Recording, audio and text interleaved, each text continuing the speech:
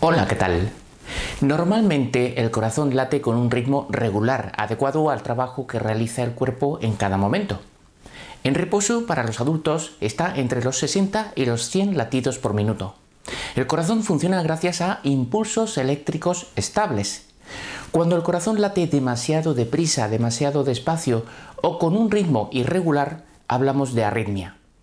Un cambio en el ritmo del corazón puede sentirse como un latido muy fuerte, una palpitación, o puede sentirse como un aleteo en el pecho. Las contracciones ventriculares prematuras, antes de lo debido, suelen provocar esta sensación. Un latido irregular de vez en cuando no suele ser preocupante si no provoca otros síntomas como mareos, aturdimiento o dificultad para respirar. Muchos cambios en la frecuencia cardíaca son leves. No necesitan tratamiento médico si no hay otros síntomas ni antecedentes de cardiopatía. Fumar, beber alcohol o cafeína o tomar otros estimulantes como pastillas para adelgazar o medicamentos para la tos y el resfriado pueden hacer que el corazón lata más deprisa o se salte un latido.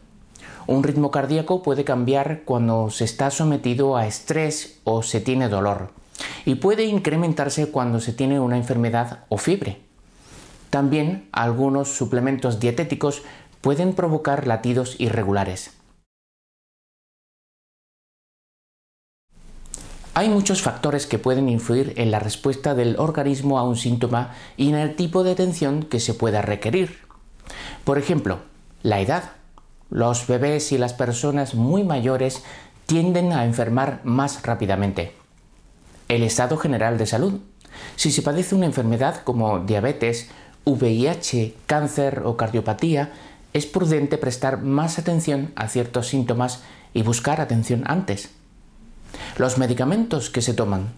Algunos, como los anticoagulantes, los que inhiben el sistema inmunitario, como los esteroides o la quimioterapia, las hierbas medicinales o los suplementos, pueden provocar síntomas o empeorarlos.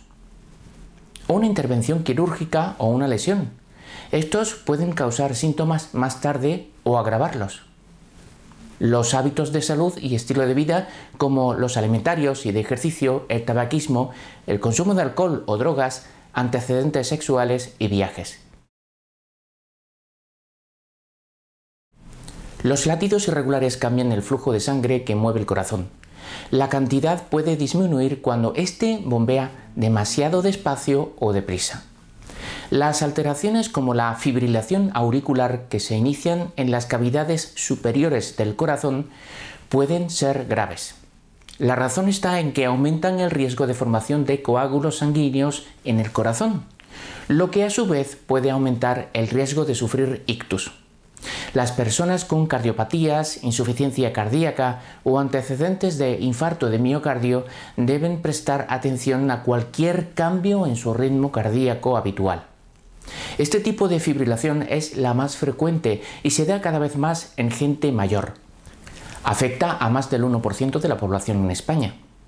Los ritmos cardíacos rápidos que se inician en las cavidades inferiores del corazón se llaman arritmias ventriculares incluyen la taquicardia y la fibrilación ventricular.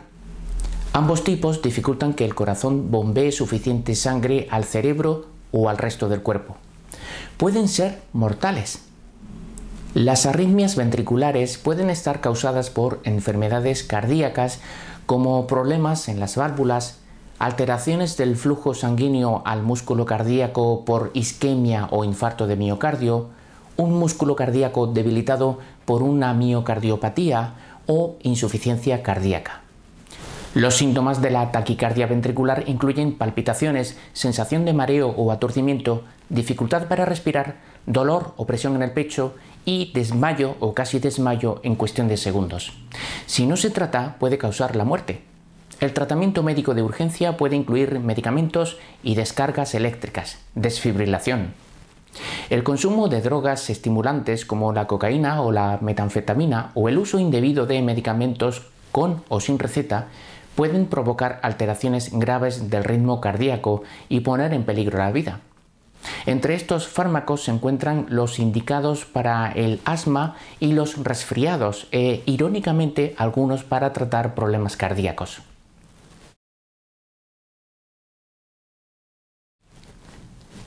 Como hemos visto, muchos cambios en el ritmo cardíaco son banales y no requieren tratamiento médico, sobre todo si no van aparejados a otros síntomas ni hay precedentes de enfermedad cardíaca. Para controlar estos síntomas se puede reducir o dejar de consumir la cafeína, como café, té, refrescos de cola, bebidas energéticas o fármacos que la contengan. La cafeína puede aumentar el ritmo cardíaco y provocar palpitaciones. El alcohol y el tabaco contienen sustancias que pueden aumentar la frecuencia cardíaca o provocar arritmias. Ciertos medicamentos, como los descongestionantes, Puede ser útil llevar un diario de los síntomas donde anotar cómo se sienten, cuál es el ritmo cardíaco y qué se está haciendo. A veces los síntomas están causados por estrés o por eventos como un ataque de pánico. En estos casos convendrá hablar con el médico.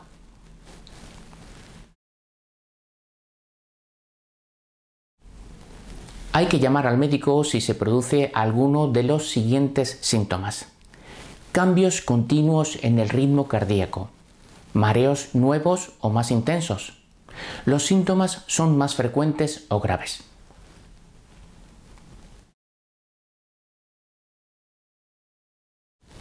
He aquí algunos consejos para sacar el máximo provecho de la atención médica. Establecer una relación con el médico hay que comunicarle la intención de colaborar en la atención sanitaria, así como transmitir cuáles son las expectativas. Participar activamente en cada cita. Escuchar con la máxima atención lo que diga el médico. Si no se entiende el diagnóstico o el tratamiento, hay que preguntar. Y si uno cree que va a ser difícil seguir el tratamiento, conviene advertirlo de poco sirve llevarse una gran lista de medicamentos si no nos los vamos a tomar tal y como está indicado. O peor, que por no enterarnos bien los tomemos mal. Una buena idea para prevenir esto, si es posible, es hacerse acompañar de un familiar o amigo a la consulta. Puede tomar notas, hacer preguntas para aclarar la información y ayudar a recordar lo que dice el médico. Por cierto, ayuda mucho llevar los medicamentos a la consulta o una lista actualizada. En ella deben figurar también los fármacos sin receta, hierbas medicinales y vitaminas. Por último, hay que pedir instrucciones. Antes de salir de la consulta del médico hay que asegurarse de que se sabe todo lo necesario para cuidarse.